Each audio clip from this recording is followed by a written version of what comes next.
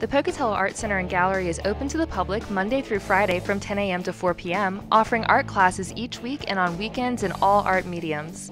The gallery features a new art exhibit each month with one of a kind pieces of art for sale by artists at intermediate and professional levels. New members are always welcome and will enjoy many discounts on classes and free exhibits in the gallery. The Summer Children's Program begins June through August 2018, and many adult classes, workshops, and demonstrations are scheduled. We take part in all First Friday art walks, and the Christmas holiday show is on the calendar. Sagebrush Arts Fest will take place again this year on August 24th and 25th on the ISU campus at 5th and Carter Street. Visit the Pocatello Art Center and Gallery at 444 North Main to enjoy a friendly and educational experience with the arts.